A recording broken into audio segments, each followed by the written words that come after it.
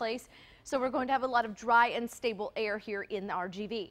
With that being said, there's not much rain in the forecast, but there is some heat. We're talking about triple digits returning to the valley, especially the mid to upper valley tomorrow. And then for the remainder of the work week, we are looking at some days in the triple digits and other days in the 90s. Breezy and humid days also. We're talking about a southeast wind cranking up and anywhere between 12 and 22 miles per hour tomorrow, as well as Friday and Saturday. It looks to be rather breezy too. So that, of course, is going to increase that lower level humidity and it's just going to feel very sticky outdoors for the next several days. By the weekend, we could see some changes with a cold front, but it doesn't look like that front will get here to cool us off during the daytime. It looks like it'll arrive late Sunday going into Monday at this point. Uh, but it will be sunny and hot, breezy with gusts near 100 degrees on Saturday. Yeah, very, very hot. Dry line will come into play each afternoon, so areas that are west of that dry line will reach the triple digits, while areas east of that will stay in the 90s and 80s.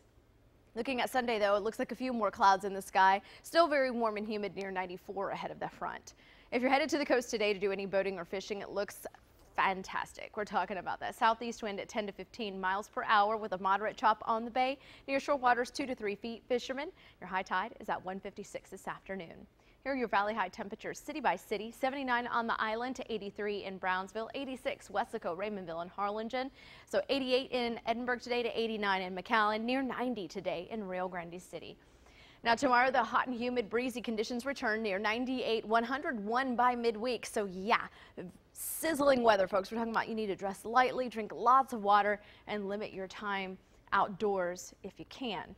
Thursday 95 degrees, 99 hot and breezy by Friday. Saturday, we're back to the triple digits. Sunday, 94. Your overnight lows will gradually get a bit warmer each night. 69 tonight, followed by the lower 70s through Thursday night, back to 75 and 76 for Friday and Saturday night.